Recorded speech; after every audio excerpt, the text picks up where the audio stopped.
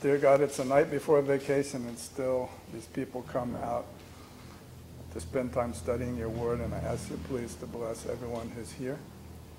Please bless us, especially with your presence and with your help in understanding what we read.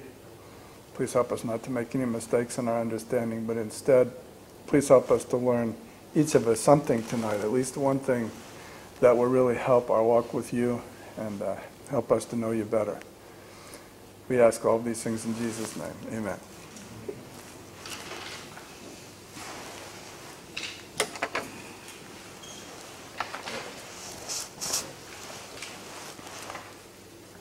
Okay, so we continue with our long study of the minor prophets. Tonight we're beginning a new one, Zephaniah, and tonight we'll just cover chapter 1 of Zephaniah.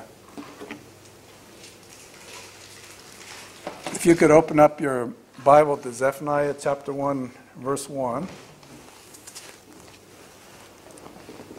And I'll just begin by reading verse 1. Zephaniah chapter 1, verse 1 says, The word of the Lord that came to Zephaniah, the son of Cushi, son of Gedaliah, son of Amariah, son of Hezekiah, in the days of Josiah, the son of Amon, king of Judah. All right, so we understand that this thing that we're reading tonight is the speech of God, the Word of God. Um, and we know that the way that we receive the Word of God is sort of almost always through a human being, a human messenger who's inspired by God to write God's Word, that is, a prophet. And this prophet's name is Zephaniah. It's a little bit unusual if you compare to the other prophets that we've been studying, that here in, in verse 1, we, we sort of get the lineage of the prophet Zephaniah. We're told who his, his forebears were, his father and his grandfather, maybe, or anyway, people the, who preceded him in his, his, his generation. And one of the names you'll notice that's mentioned, it says that the last ancestor that's mentioned is it says son of Hezekiah. And the text doesn't say that this is King Hezekiah for sure. But many people understand this to be King Hezekiah of Judah. And if you remember from your studies of Kings and Chronicles, King Hezekiah was one of the good kings who ruled in, in Judah in an earlier generation. If it's true that Zephaniah is descended from the line of Hezekiah, then he would be a relative of King Josiah, who's the king during his day. They'd be cousins or something like that. And that kind of makes sense in a way because you'll notice as the content of the prophecy, Zephaniah does seem to focus on the sins of the ruling class of people and not to say so much about the, the, the poor people or farmers or something like that. It's as if his perspective might be the perspective of a royal prince, you know, in, in Judah. But we can never be sure about that. The Bible just tells us that one of his forebears was named Hezekiah, and it's possible that that might be King Hezekiah. I don't know how much you remember your kings from, from the study of kings in the Old Testament, but King Josiah, who we're told here is the, was a king during the time that Zephaniah was a prophet, was also one of the good kings in Judah, one of the very good kings. He's famous for, at a fairly young age, turning towards God, turning towards Yahweh, investing some of the royal treasury or some of the temple treasury and restoring the temple or sort of remodeling the temple. And while they were remodeling the temple, they discovered the book of Moses, which had evidently been pretty much ignored by the people since the time of David or the, even the time of the judges. And he brought the word of God out and he read it and he was struck to the heart. He realized how disobedient his kingdom had been. And so, based on his reading of, of the Torah, he directed the people in the kingdom to start tearing down the, the idols and all of that kind of stuff. And so Josiah was the last great reformer um, in, in Judah. And some people have said that, that maybe it was the prophecy of Zephaniah that could be responsible for Josiah's reforming tendencies. And there are some things in the text you may see that, that would suggest that. On the other hand, there are things in the text that, that might lead you to believe that the reforming started a little bit before the time that Zephaniah began to prophesy.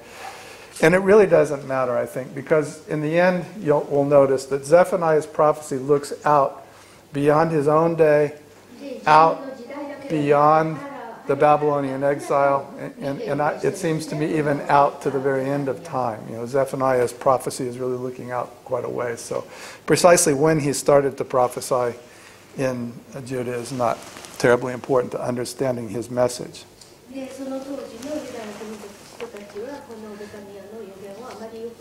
So after this first verse, which is a kind of superscription I've been talking about that tells us who the prophet was and when he lived and in this case, who his father and grandfather were, and, and the things we can deduce from that, then his prophecy begins. And tonight we'll just be covering uh, chapter 1. And if you'll notice, verse 2 reads this way Zephaniah chapter 1, verse 2 says, I will utterly sweep away everything from the face of the earth, declares the Lord. I will utterly sweep away everything from the face of the earth, declares the Lord. And now, if I could ask you to look at the very last verse of chapter 1, the second part of verse 18 of chapter 1 says, In the fire of his jealousy, all the earth shall be consumed, for a full and sudden end he will make of all the inhabitants of the earth. Again, for a full and sudden end he will make of all the inhabitants of the earth. So it's interesting and probably important for, for us to notice as, as we begin reading in chapter 1 that the first and the last verse of the prophecy contained in chapter 1 contains almost exactly the same thought, namely that everything on the face of the earth, expressly including all of the inhabitants of the face of the earth, will be swept away. And what's more, that an end will come, and that end will come fully forgot my slide. The end will come fully and suddenly, all right? So if you look at the slide, which I just put up a little bit late, I put up a picture of the, the globe there, a picture of the world. And the first and last verse are saying that the, the surface of the earth, the face of the earth, will be swept clean, he says, of all of its inhabitants. And there at the end of the chapter, it says that things, will, things on the face of the earth will come to a full and a sudden end. All right? And you might wonder to yourself, and people do, whether this is hyperbole, that is a figure of speech where a person sort of overstates their case, right? Um, uh, you know, my father is as tall as a 10 story building or something like that, where you exaggerate what you say, not meaning it literally, but trying to get across the point that it's very big or it's very bad or, or something like that. That would be hyperbole. And if this is a figure of speech, then he, he wouldn't really mean that the whole earth would be swept clean. That's possible. You might wonder if this is one of those prophecies like we hear sometimes in the Bible where God foretells something really terrible and then later he relents, he repents. He, in, in a sense that applies only to God, changes his mind. The people repent and, and he turns aside his, his wrath. You might wonder that. Or you might wonder if this is a prophecy that, that means literally what it says it means in both verses that the day will come when God will sweep clean the face of the earth and put a sudden end to everything, but that just hasn't happened even yet, right? Obviously, it didn't happen between the time of Zephaniah and today because we're still here, but he might be seeing beyond our time to the end of time where the earth will finally be finally be swept away and put, put to a sudden end. And certainly there are many places in the Bible, including some we've studied in this class in recent years, where the Bible is aware of a final end of time where things are swept away. We read that in the beginning of Hebrews. God rolls up the, the, the, the current heaven and earth like a scroll and puts it away, and there's a new heaven and a new earth. When we study Revelation, we see many visions of an end time where the current heaven and earth are replaced by a new heaven and a new earth, and the heavenly Jerusalem comes down and so forth. And many other places, I guess, in the Bible are familiar with the idea we see here, perhaps, the same idea, that the prophet is actually looking all the way out to a day when the inhabitants will be swept off of, off of the earth, as they say here. And in any case, what I want you to realize for, for now, as we go on, is that chapter 1 begins and ends with the thought of the complete destruction of the inhabitants from the face of the earth, which means that everything that's spoken in between the first and the last verse of that prophecy is encapsulated, it's contained within the idea of total destruction at the end of time.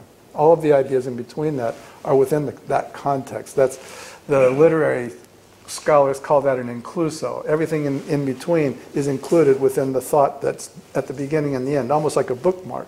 The whole chapter exists between the end of the world, said first and said second at the beginning and the end of end of the chapter.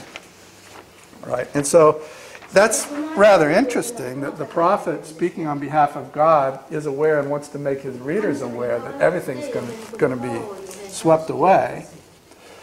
And yet, God, through the prophet, thinks that everything he says in between the first and the last verse is worth people hearing and of benefit to them. You, you understand why that's interesting to me? I mean, you might say, well, if it's all going to be swept away anyway, who cares about anything?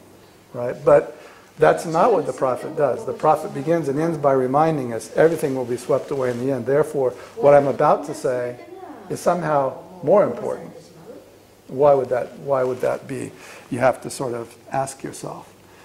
And if you think we've sort of accidentally, you know, understood that in the wrong way, I think that the, the extent of the destruction that the prophet sees coming upon, upon the earth is actually reiterated and underscored in verse 3.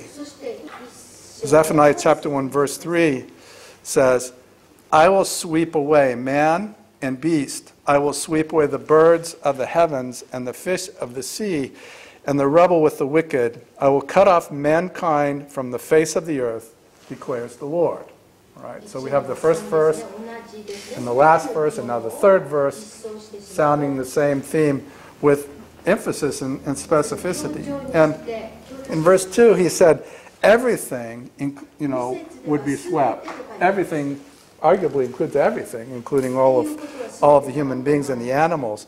But in verse 3, he adds a thought which is biblically important. He says, it also includes birds and fish. If you remember how God created the universe, and, and then there was sin, and then he decided to bring a flood, and then he knew Noah, and Noah's family went on the ark, and he told Noah, bring two by two into the ark one of every animal, including birds, but not fish. There was no aquariums inside the ark. Uh, Noah didn't take fish into the ark because the whole water was, the whole world was covered by water. The fish presumably were fine. Right? The fish of the sea would have survived the flood. God was only killing humans and, and if, if by accident animals with the flood, but not fish. Here, a prophet writing in, in, in, the Bible and, and going out of his way to say that, that God is going out of his way to say he's also going to include the birds and the fish in the destruction means that this is an act of uncreation more severe than the flood at the time of Noah. All right? He's, he's, he's predicting something more severe than the flood at the time of Noah. All the humans, all the animals, all the birds, all the fish will be wiped off from the face of the earth. He doesn't mention anything about plants, and he doesn't mention anything about geological formations, you know, mountains and valleys, and he doesn't mention anything about the moon and the stars and the sun. But after all, the prophecy is being spoken to conscious living beings, right? Animal life, the pinnacle of which is human beings who can actually understand this prophecy and care one way or the other what he's saying and be affected by it or benefited by it.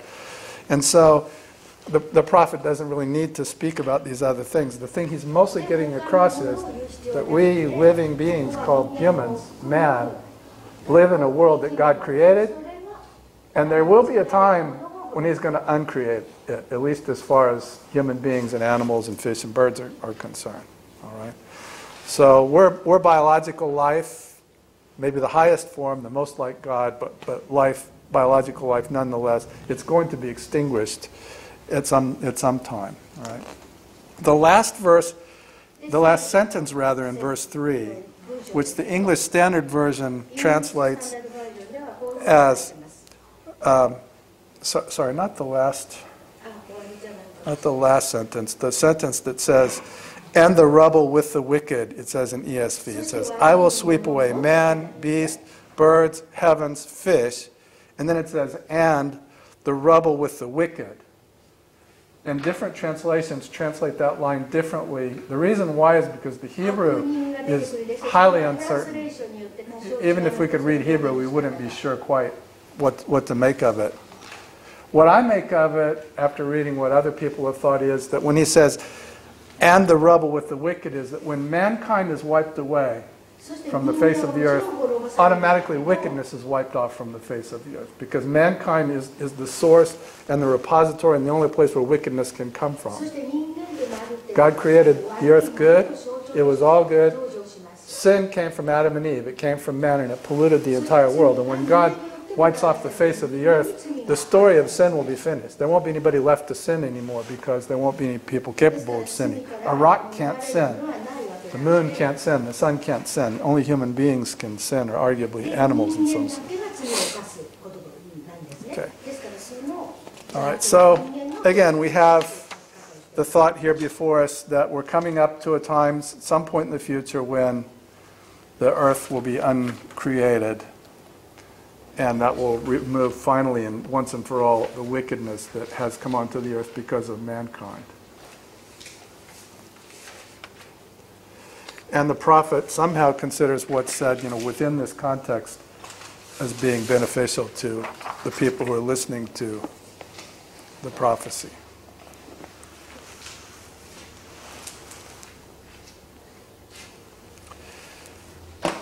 So, what follows then is something that could only be relevant before the end of time, because at the end of time there won't be any people left to listen to this anymore. So, what, what the prophet is seeing now is before the end and after his own time, which we approximately know. It's the sweep of history between the, the, the time of the reign of Josiah, who tried but failed to reform Judah, and the end of the world, which hasn't come yet.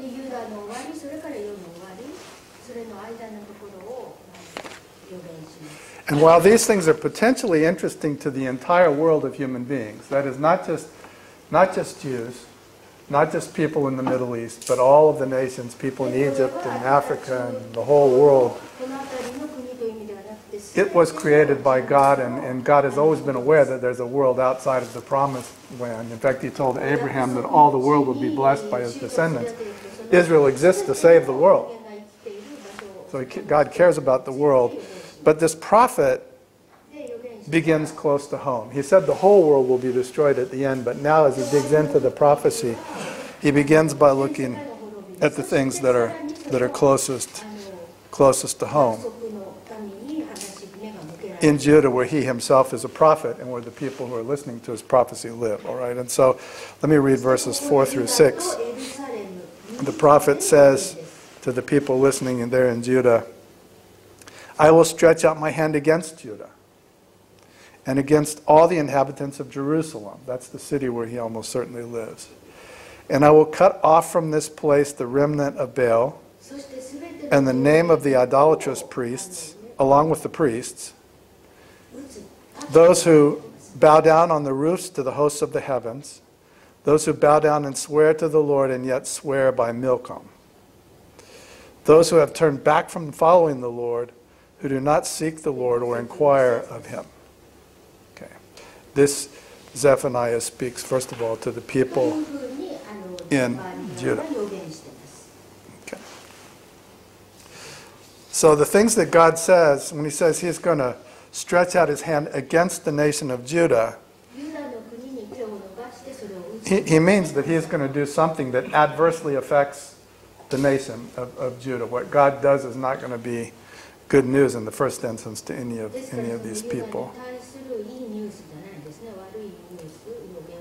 In, the, in Jerusalem, all of the inhabitants, he says, all of the inhabitants will be affected. So the things that he sees in his prophecy are things that when they happen, whether we're talking about God's children or enemies of God, but if they're living in Jerusalem, if they're living in Judah, the stuff that's going to happen is going to be difficult for them, it seems, based on, on the, the way he's launching this, this prophecy.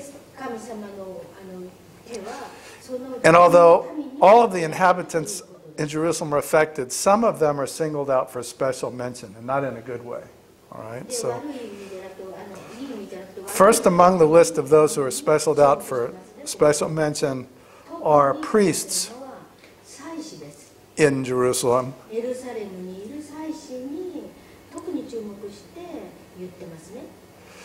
And he, he mentions two kinds of priests here the idolatrous, idolatrous priests, which presumably means priests of Baal, priests that assist people in worshiping idols, the worshiping gods other than, than Yahweh, or, or perhaps worshiping Yahweh in the wrong way, which involves an idolatrous practice.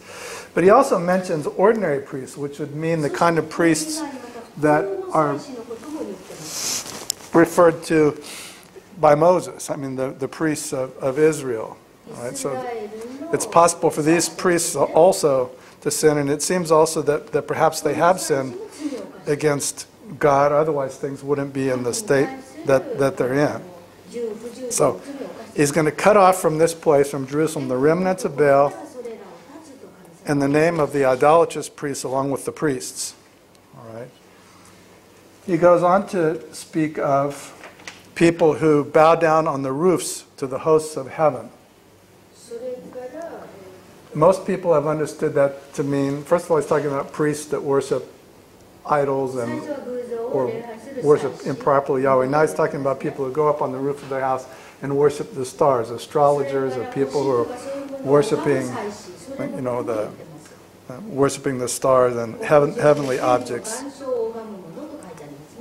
And finally, he singles out the people who they do bow down and swear to the true and living God, that is to the Lord, to Yahweh, but they also swear by someone named, ESV translates, Milcom.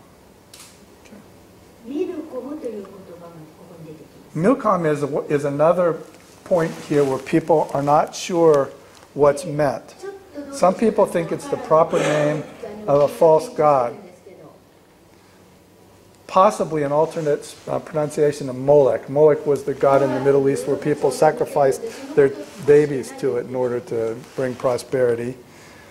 Some people think that it's a, re a reference to the royal family in Israel, people who they bow to the Lord, but they also bow down to the human king in Jerusalem. And in that sense, this might be a sort of anti royal prophecy. In Israel, always it's been a little bit unclear from the very beginning whether Israel's really helped much by having kings, right? It wasn't God's idea for them to have a king in the first place. They demanded a king in the time of the judges. And God said, Well, okay, I'll let you have one. They picked Saul, that didn't go well. God had to pick a king for them, David, that went better. But the whole history from the time of David's son all the way down to the time of the prophet Zephaniah and everything we've been studying in this class would suggest that the kings in Israel don't really do a very good job of shepherding the people and keeping them obedient to God, right? And finally, the prophet is seeing the day when the kingdom's just going to be swept away because God's going to have to let it go. It's, it's not doing what it's supposed to do. And so there have always been factors in Israel that were sort of pro royalty and those that were sort of anti royalty. The, the priests were sort of with the royals and prophets were sort of against them. And even to this day, there's some disagreement about how much the Bible really is in favor of there being kingdoms or, or not, be, be, because it's it, royalty is human royalty is kind of a mixed blessing. The only king that the Bible is really comfortable with is Jesus, the king that was always intended, perhaps, and people couldn't wait for it, and so God had to give them lesser kings in the meantime, which is a lot of the trouble that they've had, is because even David himself was a sinful and disobedient king a lot of the times, right? There's never really been a good king except Jesus. So it's possible here that, that what the prophet is saying to the people in Jerusalem is, yeah, you're worshiping God, but your priests are kind of doing a bad job. You have these foreign gods, and you're also bowing down to the human kings that you've got appointed over you. And we know that most of them, from the history we have in the Bible, most of them were bad. Hezekiah was pretty good. Josiah was pretty good. Most of the rest of them were pretty bad they're leading the people into sin and not the opposite. But in any case, it kind of doesn't matter what it is you turn away from God towards. The problem is that you've turned away from God. And the prophet is saying that you know the, the people in Jerusalem that he's singling out are people who are turning away from God and causing other people to turn away from God. They've stopped expecting anything from God or fearing anything from God. They think that God, whatever He is, He's just not going to really bother their life too much. And now they're going to be badly surprised by just how real God is and just how much He's going to bother them. All right, that's the prophet is sort of coming up to that. He's saying, you, you, you people think that things are going good in Jerusalem right now. The Assyrians are now gone. The Babylonians haven't come yet. It's sort of free. Everything's good. But I've got a prophecy I need to, to tell you.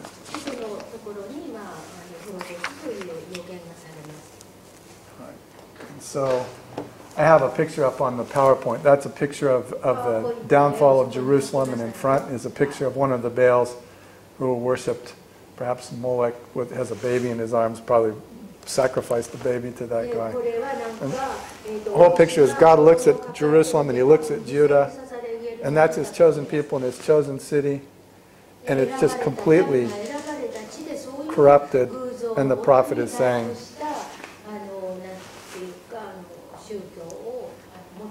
trouble is coming to you guys before the end of time.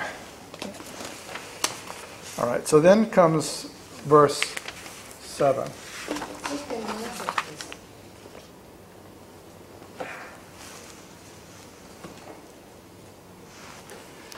And this is an important verse, I think, and one that's intentionally vague so that people down through the centuries will spend a lot of time talking about it, is my, my belief. So Zephaniah chapter 1, verse 7 says, Be silent before the Lord God, for the day of the Lord is near.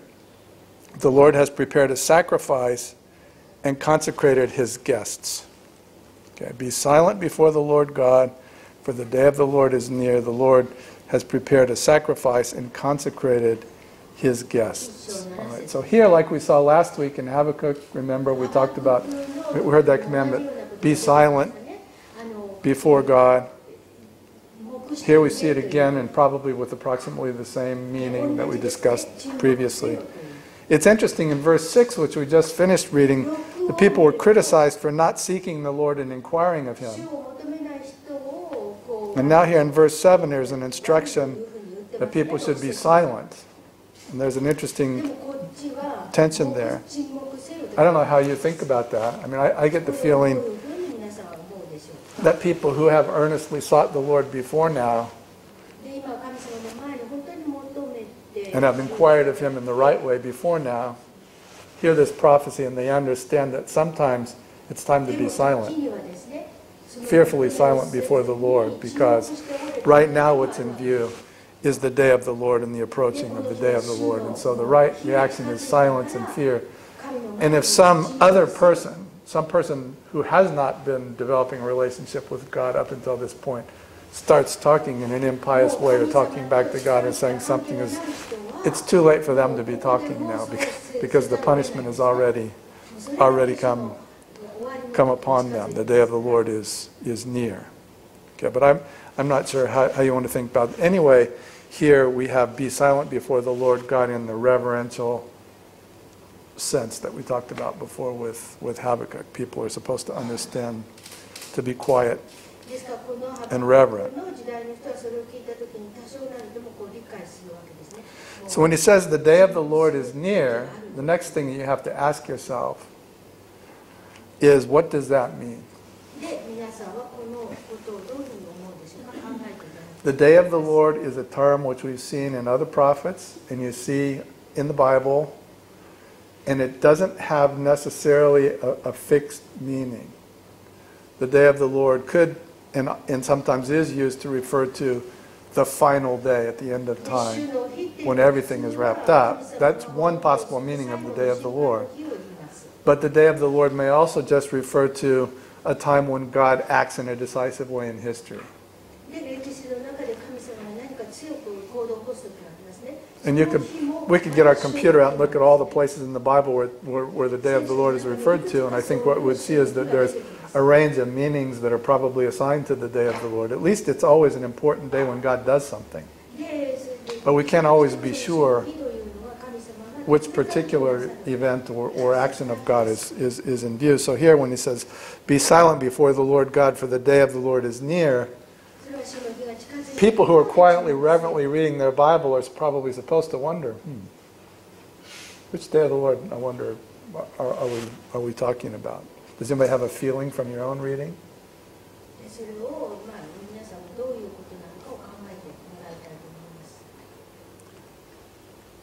He's talked at the beginning and the end, and also in verse 3 about the final day when everything is swept away. Is that the day of the Lord that's being talked about here? Because if that day of the Lord is very near, there's hardly anything else left to talk about, is there? Could it, could it be both? Could it be talking about the, lo- that, that impending punishment of Judah, and could it also be a shadow of the larger scale also? I, I would say almost certainly yes. At least that's the way that it comes to my ear. I think when we hear Day of the Lord, we're supposed to understand that the, the Lord is sort of always acting in history. And at various times, our attention is best drawn to this or that activity of God. Always in view is the sort of end of time that He's begun and ended this, this chapter with. But there are a lot of things in between, right? Like, like we've said a few times before, not least of which is the coming of God's Son Jesus to, to the world as a man, which, which is a day of the Lord or the beginning of a day of the Lord by, by one definition. So when you read this, be silent before the Lord God, people are supposed to think, in what sense should, should I be silent? For the day of the Lord is near. People are supposed to think, yeah, that's true, but which, which day of the Lord should I be looking at? And as your attention or your discussion goes between various possibilities of the day of the Lord, various possibilities of the sort of silence we're supposed to have before God, I think that your understanding of, of God and your relationship to God is enriched more than it would be if you had a very easy, particular thing being said, said to you here. At least that's what the people who translate out of Hebrew say. When you read the Hebrew, it seems as if the author has been intentionally vague on some of these points so that later generations would discuss it. They had ways to be clear in Hebrew if they wanted to be. But the author Zephaniah and the Holy Spirit don't always don't always want to be clear, right? It may be a truth that has fuzzy edges, and this this one may do. Okay.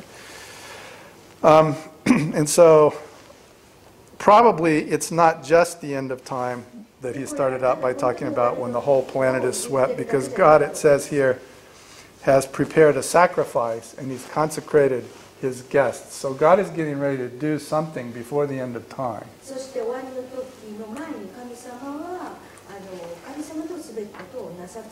And again, people wonder what, what's meant here. All right? Are his guests the sacrifice? Some people think so. Um, are his guests consecrated so that they can attend the sacrifice, but the sacrifice is something else? What is the sacrifice? There's sacrifices in Israel are usually done in response to the presence of sin. There's sin, so there needs to be a sacrifice. All right. So God has prepared a sacrifice. What is the sin? Well, a lot of sin is in view in this prophecy that could demand a sacrifice. What is the sacrifice? Is it the people themselves? That God will actually kill some of these people and they will be the sacrifice? Is it something short of that? Something short of giving their life that God has prepared as, as a sacrifice. Remember the story of Isaac and Abraham. You know that Abraham went to went to sacrifice Isaac, and just when he was getting ready to do it, the angel of the Lord stopped him. God will prepare a sacrifice, and then the ram came out to save his son, and something else was sacrificed instead. Is it the city, the promised land? The nation, which is going to go away to Babylon, that's being sacrificed by God because of the sin of his people? Is it Jesus? Is Jesus the sacrifice that God has prepared to atone for the sins of the people so that they can be punished and yet survive somehow? Okay. And I'm sorry, but Bible scholars, much better than me, don't know the answers to these questions. People talk about this, right? And that's the way, that's the way that, that Jewish people in particular read their Bible, is they like to talk about it and argue about it. And I wonder what does this mean? And connect it to other places in the Bible. And finally, this verse 1-7, which is why I have a picture of a guy before the blue sky with a question mark, because you're supposed to look at you're, you're supposed to look at a verse like this and talk about it, think about it. Okay. And I think I'd be doing you a disservice if I just pretended to know exactly what's the right way to, to understand this, because it's not that kind of a, not that kind of a verse. It's intentionally vague Hebrew translated into a foreign language, English, which means that we can only sort of think about what it might, what it might mean.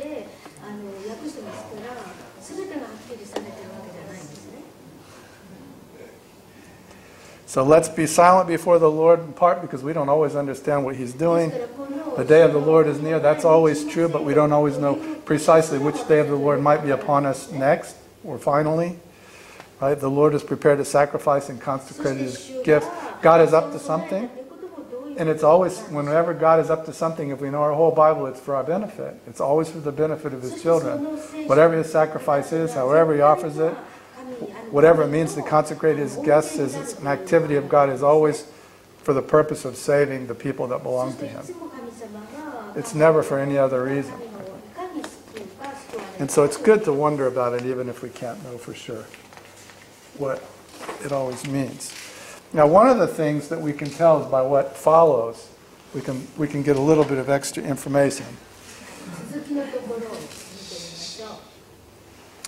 Verses 8 and 9 read, And on the day of the Lord's sacrifice. Now, here it says, the day of the Lord's sacrifice. It's possible that the previous day of the Lord means the day of the Lord's sacrifice, or maybe not. I, I, I don't know. But on the day of the, of the Lord's sacrifice, which is one of the days of the Lord, God says, I will punish the officials and the king's sons, and all who array themselves in foreign attire. On that day, I will punish everyone who leaps over the threshold and those who fill their master's house with violence and fraud.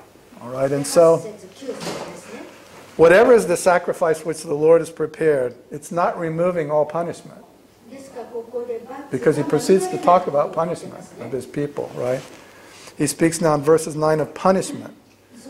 On the day of the Lord's sacrifice, God will punish, and he's going to punish certain men, okay? In particular, and we've seen this in other prophets, he's going to punish public officials, princes, of which he may be one. The prophet himself may be a descendant of Hezekiah. He may be a prince of, of the realm. Certainly Josiah and the, and the other members of the royal family will be punished. And others who have turned their backs on the ways of Israel in preference for the ways of foreign people and their false gods. All right? He's going to punish these people. How's he going to punish them? And so that may get a little bit clearer as we read verse 10 and forward, but you have to ask yourself. He's talked about an end of the world when everything is put away. He's talked about an earlier time when he's preparing a sacrifice and sanctifying things in, in, in order to do something to deal with sin, and yet still there's punishment. There's punishment that's coming. In, in, in his future and before the end of the world, there's punishment that's coming.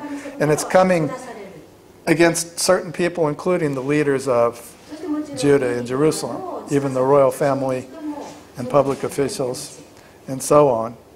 And so, if, if you didn't read any farther in this chapter and get more clues, you might ask yourself, what would be the way that God could punish a king? What would be the way that God could punish an official? What would be the way that God could punish a rich landowner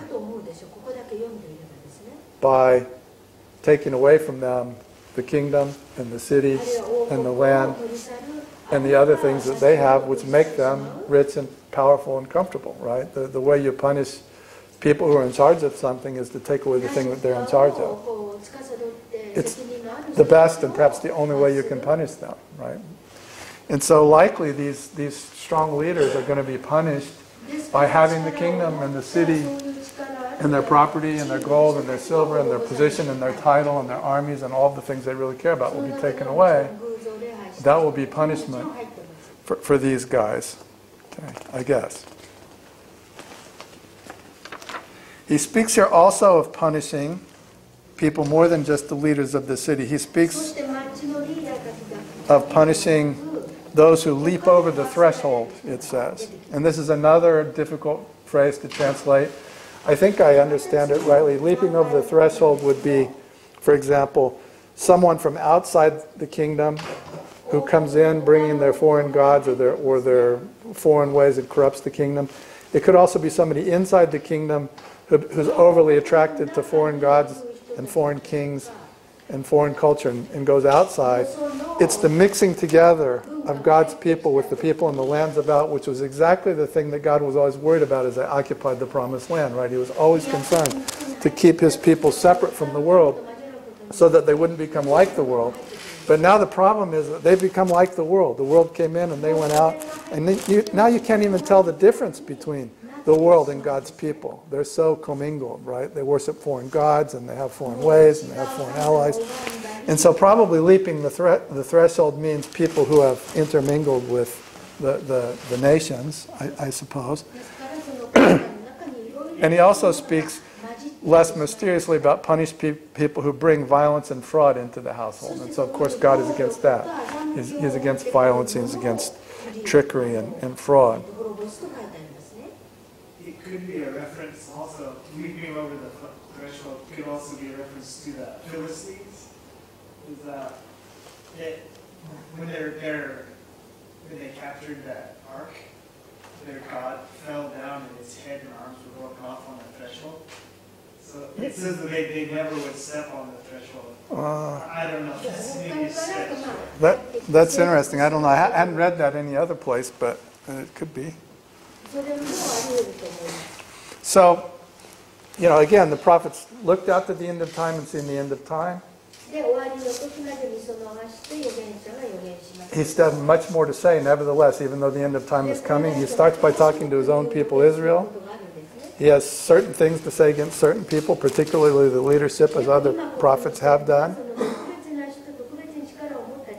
And God says He's preparing to do something. He says He's preparing, preparing a sacrifice, which is hard for us to think exactly what it means. But it's easy for us to understand that God is preparing some kind of punishment. And He's speaking of punishment, not destruction, right? This is punishment that's coming presently, not destruction at the end of time. Which is why I put this picture up on, on the PowerPoint, because my understanding about God's character, including what God teaches in the wisdom literature to, to human parents about how to handle human children, spare the rod and spoil the child and so forth. And even in the New Testament, Paul's teaching, the whole Bible teaches us that even human parents who love their children discipline their children. How much more will God discipline his children who he loves? And so the punishment that's coming against them, I understand to be at the root an act of love on the part of God who needs to fix the problem that his children have. I don't think it could just be retribution or revenge or something. God hardly needs to do that. But he will discipline his children. If he really hated them, like Jerry said the other day, if he really hated them, he just wouldn't do anything, right? He wouldn't say anything, he wouldn't do anything, he'd just go away. But instead, he's, he's busy doing something here um, he's disciplining them. At least that's my way of understanding what God is doing when these difficult things happen. now, even though God may be just a, a, loving but stern father disciplining his children,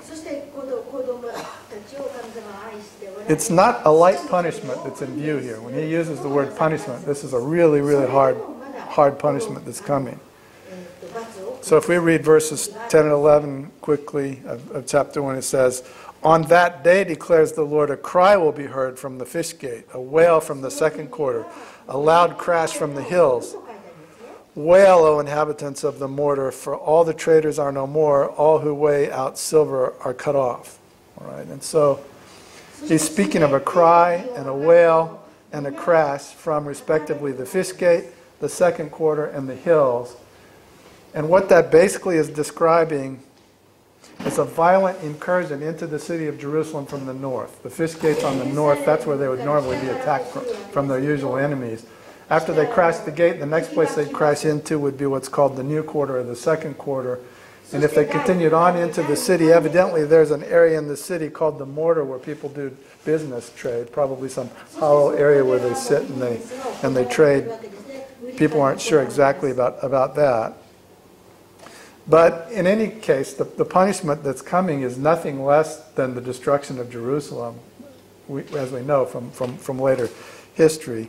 And of course, then, as I said before, if the city is overthrown, if the kingdom is overthrown, if the temple is thrown down, if the businessmen are all robbed of all of their property, then all of these rich princes and officials and traders and everyone are going to be punished in the way that probably they consider to be the most painful by having all of their stuff taken away.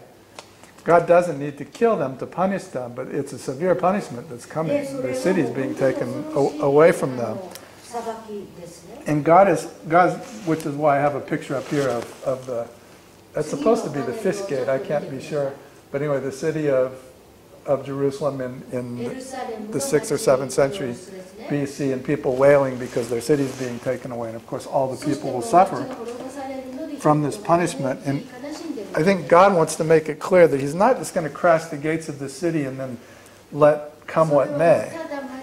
In verse 12, he says, At that time I will search Jerusalem with lamps, and I will punish the men who are complacent, those who say in their hearts, The Lord will not do good, nor will he do ill. All right, so he's not just going to knock down the walls of the city and let people be lucky and escape or be punished as, as case may be. God never leaves anything to chance. So individual people are going to be punished in, in, the way that the Lord deems appropriate. And he's going to, he used this figure of like a nighttime search. This is the picture I had in my mind. Where he says, I'll search them by lamps, kind of like a manhunt looking for people. You can't hide. Other prophets have had similar imagery. He's going to find people. And he says, he's going to find everyone who says in their heart that the Lord will not do anything.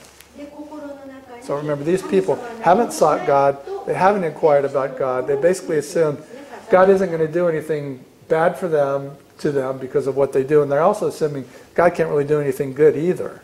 God can just be ignored. We, we can forget about God because God is like someplace, right? But we're rich and we're ruling this city and everything is, everything is fine. So God expects the people who He's going to finally make His own people and redeem them, not only to fear His punishment, but also to seek His blessings. All right, and this is a sin I have, and I think modern people have as much as the ancient people have. We very easily, without doing anything blatantly disrespectful to God, can live our life as if God won't do anything bad or anything good. We don't, we don't really, a lot of, some people do, but I, maybe I'm worse than most people. I don't, as often as I should, wake up in the morning I really need God to help me do this, that, and the other thing today. I'm more likely to be afraid God will punish me for my sins because I have a lot of them. But, but I said also, God also wants me to care constantly, thinking that He could do good for me, not just, not just evil, right? And, and God is going to, find these people who have forgotten about Him because they turn to other gods, or they worship their king, or they worship their money, or whatever it is that they do. And He's going to get them, each one of them, He says in, in, in verse, in verse 12. Everyone who says in their hearts, the Lord will not do good, nor will he do ill. Right? They just, they're not worried and they don't care what God says. And what's going to happen to them, as I've suggested before, is elaborated a bit in verses 13 and 14. God says, Their goods will be plundered, and their houses will be laid waste. Though they build houses, they shall not inhabit them. Though they plant vineyards, they shall not drink wine from them.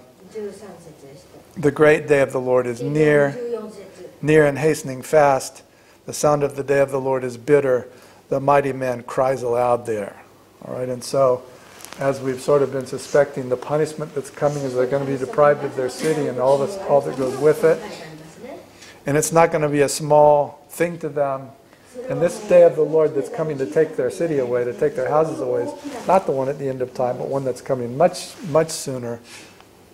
And they're going to cry aloud. Even the mighty men are going to cry aloud because they'll just have everything taken away from them, it seems like, verses 13 and 14.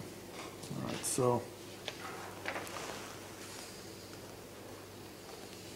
The penalty for ignoring the Lord, if you're lucky, is some, time, some type of suffering. If you're unfortunate, God will just let you ignore Him and, and not bring you to suffering, in which case when the, when the end comes, it's the end for you. I said this a lot of times, I'll say it again in my life at least. This is one of the things I read in the Bible that I can most easily confirm with my life experience is that if you forget about God, He will remind you. And His reminder will be difficult and painful often, sometimes very difficult and very painful. But you shouldn't despair and think that God is your enemy. On the contrary, you should rejoice that God is still your friend that He's still willing to go out of His way to, to draw your attention to Himself. And the, the main way He has to do that is to make you feel like this picture. Right?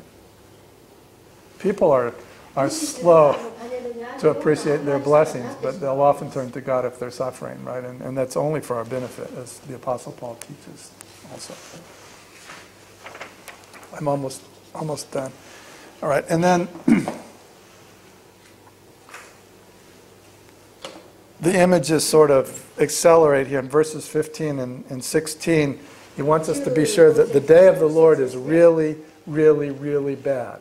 You remember an earlier prophet who said, You want the day of the Lord? Are you crazy? The day of the Lord will be darkness and not light, and so forth and so on. Is there people running around saying they're waiting for the day of the Lord, and they don't even understand that for them the day of the Lord is just going to be awful, right? Because you're going to come in to the presence of a holy God and you're not ready. You don't want the day of the Lord to, to, to come. And that's why people, even people who are ready, are fearful and trembling.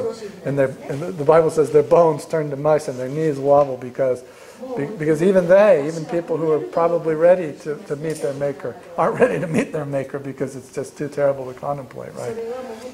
And so Zephaniah wants to make sure we get it here. The day of the Lord is going to be really, really, really bad for these people who aren't right with God. Verses 15 and 16 say, A day of wrath is that day. And this may be an answer to which day of the Lord is in view presently, because the word day is used here six times, I think. A day of wrath is that day, a day of distress and anguish, a day of ruin and devastation, a day of darkness and gloom, a day of clouds and thick darkness, and a day of triumph and blast and battle cry. Somebody said that the, the mention of the word day six times is the reverse of creation, sort of. I mean, in six days God created the world and he rested on the seventh day. God is going to going to break it down for him here backwards, right? This day of the Lord is going to be a big distress for them anguish, ruin, devastation, darkness, gloom, clouds, darkness. And then the, in verse 16, we get a kind of military thing, which is why I put up a picture of Nazi stormtroopers here. They say a day of the trumpet blast and battle cry against the fortified cities and against the lofty battlements. You know, it's all going to be messy and bad and scary, and it's going to be bad. Right? And we don't need to live in Bible times to see images of that, right? Which is why I try to put a modern image every once in a while. We see horror all around us, right, in, in, in the world in, in the 20th and 21st century. Also, lots of strife comes, and we have to understand, as hard as it is to understand, that God is doing something.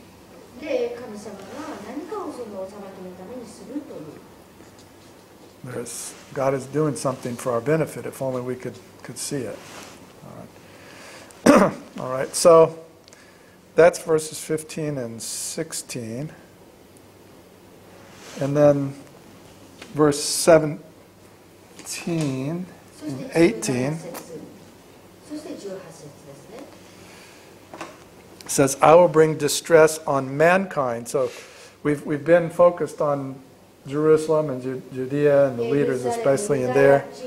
And now he's zooming back out again to the whole world, which is where he started. He was the whole world, Judea and Jerusalem. Now he's back out to the whole world, which is another part of the literary structure here.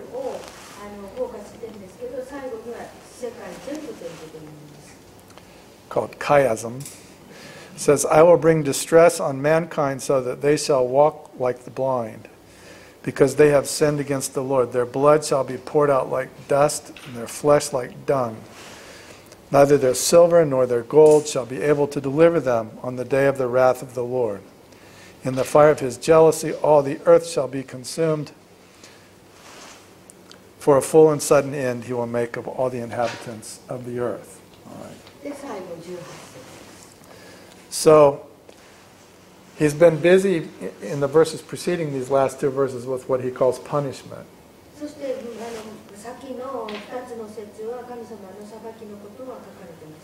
But the punishment finally proceeds to where the chapter began with final destruction of everything, the whole world. God created at the beginning of time, everything perfectly. Men sinned and fell down. God has been busy ever since redeeming a people for himself.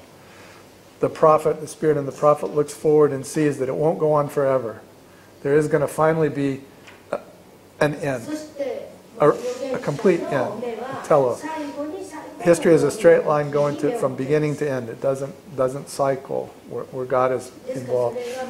And so he can see the end, and before the end, he sees that a lot of the sin is going to be dealt with by God through punishment, which, which I understand to be salvific. I think God punishes people. Where there's life, there's hope. Their life is difficult, but so long as God is talking and so long as God is moving, they have a, a, a chance, right? But they better hurry because, in another sense, the day of the Lord is near.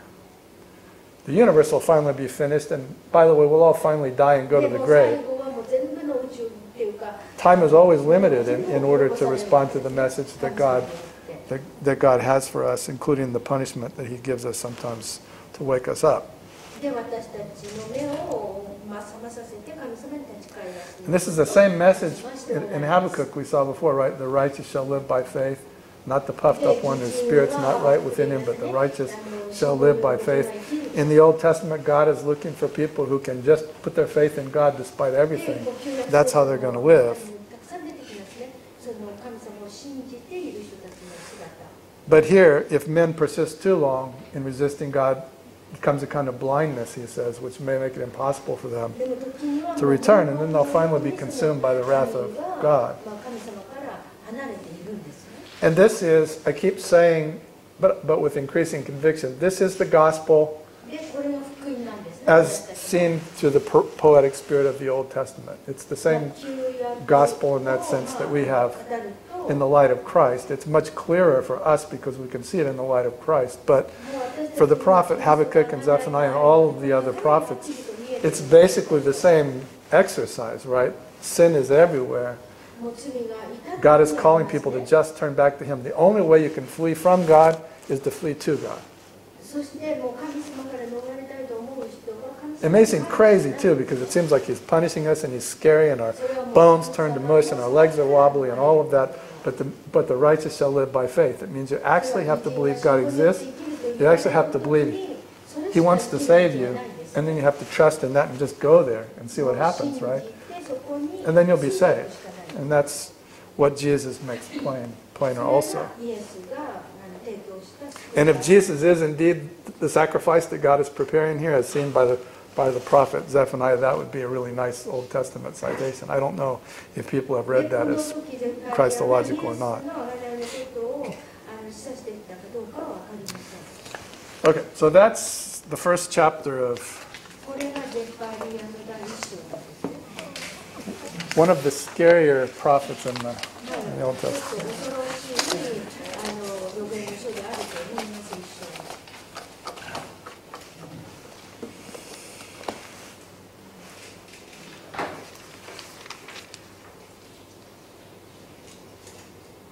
Anybody have any question or comment?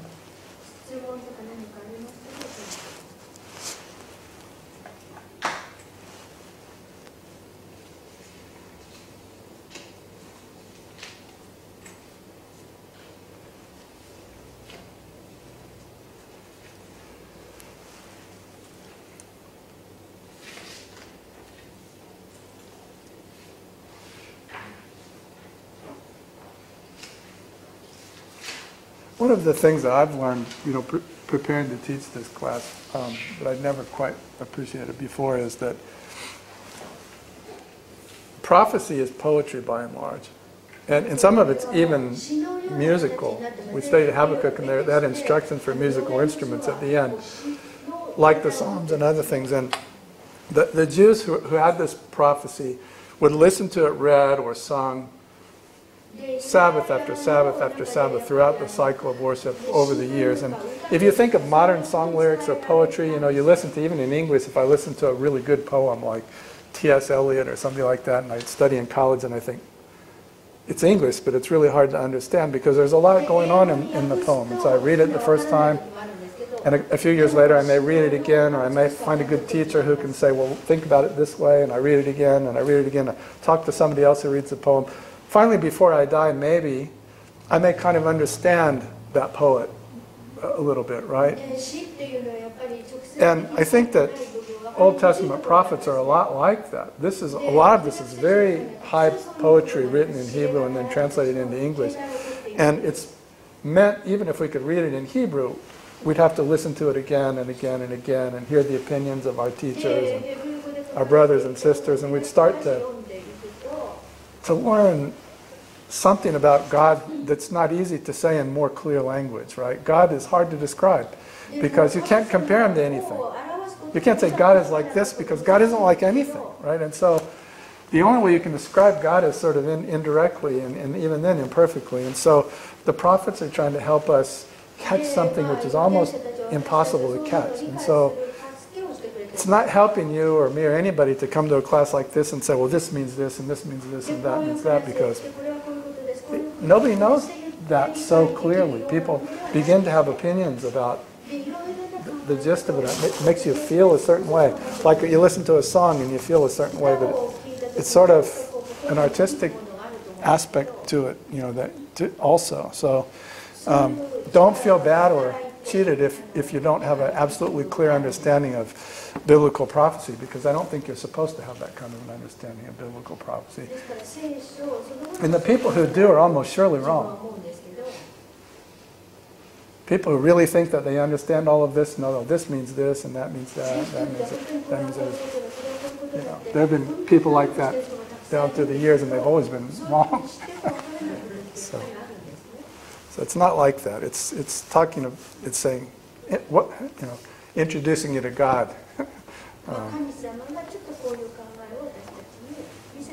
was very hard to understand. Sorry, one other thing that I, that I feel like saying is that one of my weaknesses, I like to think a lot, so I like I have this theology, and I can say, well, this is my theology, this is how the Bible fits into my theology, and pretty soon my theology has turned the Bible into my theology. But God isn't like that. God is completely free. He's wild and he's free and he can do what he wants to do.